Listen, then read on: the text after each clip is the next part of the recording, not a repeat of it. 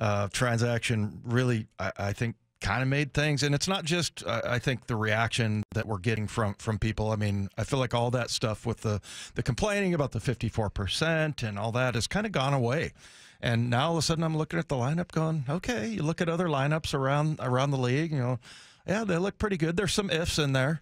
I mean, I feel like they need to especially get something out of the the DH spot, which they haven't in a while. And then I think a lot of it depends on Ty France and and how you know how he's working. And there's a couple of videos out there, by the way, of some of the works that uh, work workouts that he was doing um, as far as uh, at Driveline. So looks like he's working his tail off. So yeah, now all of a sudden you look at it and you can kind of make a case like, okay, I feel pretty good about this lineup. Yeah, we we talked about it. Shannon said in for the first two hours yesterday, and we were talking about you know the lineup and and and the big qualifier is if it's just if healthy.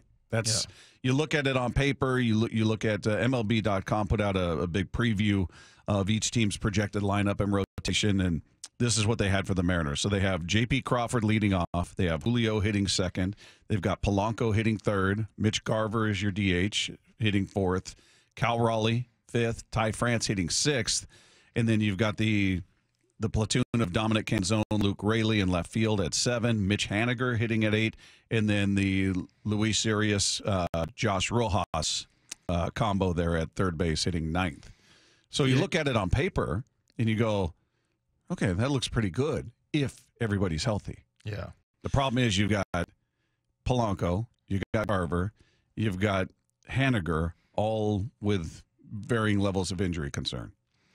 Well, the other thing too, the other if I think is, you know, J.P. Crawford. If it's last year, J.P. not yeah. the year before that, and then with Ty France, not last year, and hopefully, you know, two, three years uh, ago, uh, how he was hitting. So yeah, it's uh, the, uh, this all of a sudden is starting to make me feel pretty good. Not wild about you know seven and nine just because you know you've got the platoon situation going there but i think like i said i think it depends a lot on mitch garver and how much you get out of your dh this year but yeah looks looks pretty good i think I don't hear people complaining as much either. Well, oh, they're there. If you see, you say this, and now you're going to get everybody texting in with complaints, Dave. Yeah, uh, I don't look hard for the the complainers. Yeah, they're they're they're there. Don't don't don't uh, get that twisted. They are certainly there, and you guys are welcome to text in and complain if that's what you want to do. Now but, they're gonna now everybody's gonna text. Yeah, they're on Twitter. They're out. They're still out there going, oh yeah, well this guy's broken down, and how much can you actually get from Mitch Mitch Haniger and blah, you know. So it,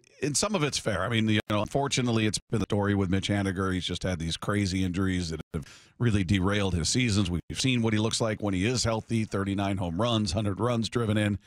I don't expect that of him. I just don't know that he can be that durable. But if you can get a hundred games, I don't know if that's asking too much or too little of Mitch Haniger. I feel like that's kind of kind of the same thing for Mitch Garver as well. Just get be out there for hundred games. Give me that. Polanco, same thing.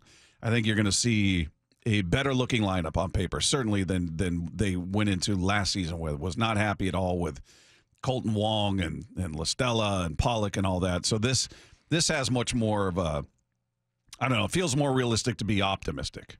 It didn't feel realistic to be optimistic last year, mm-hmm. looking at that lineup. Now I look at it and go, okay, I, I, get the optimism. It makes sense to me to feel optimistic about this group, but there is the big caveat health. Now, the rotation is, is exactly what you think Luis Castillo, George Kirby, Logan Gill, Bryce Miller, Bryan Woo.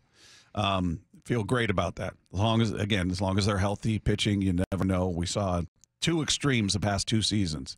Season before last, not a start was missed. Mm-hmm. Last year, everybody got hurt. It felt like at one point or another, whether it was Robbie Ray done for the season, Marco done for the season, you know, guys taking turns, uh, Bryce Miller, what blister on his on his fingers. I mean, just different things kept him out from making a start. So we'll we'll see how that goes. But on paper, I feel more optimistic about this team. I'm curious for Mariner fans, do you, are you feeling more optimistic, or do you look at this and go, eh?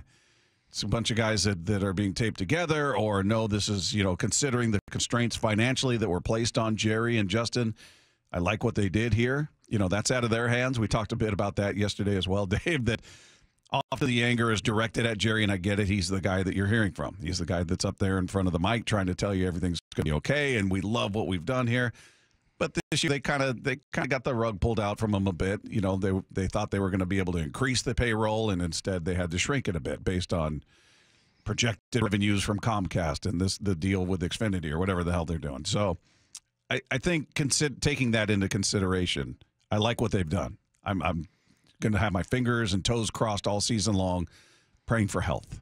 That that'll be the key to the season without question. Yeah, I think that, and also um, uh, the article, you know, has pretty much everybody's lineup and rotation, and uh, other MLB cities are, are thinking the same thing. There's there's always a big if, you know, if Yeah. this guy, and you know, like Ty France. I mean, you know that I hate to keep dwelling on that one, but you know that that's kind of a big one. I mean, he he really took a you know step back last year. So, um, yeah, I, th- I think every you look at every one of these lineups, whether it's the Orioles or the Yankees or whatever. There's there's a lot of there's a lot of what ifs, but you know I, I feel like there's a lot to like um, as far as if you're being optimistic, and I, I think it's it's probably one of those right in the middle as far as the the rest of Major League Baseball. That it, you know if you've been negative for the last you know couple years, you're probably going to be you're probably going to be not too happy about it, and if you're positive, then you're going to think, hey, this is uh, this this lineup's got a chance. But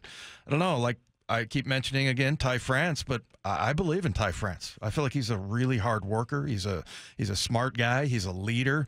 And then you know I saw a couple of the videos of him over at uh, Driveline doing workouts and things like that. They've got him, you know, they've got like all these sensors on him, and he's taking swings, and you know he's working his tail off for it. So um, yeah, I think those that that kind of epitomizes the the what if. You know, what if he comes back and is, you know, the the same great hitter that he was that we've come to rely on. Yeah, he was. I mean, he think about when he first got here. He played.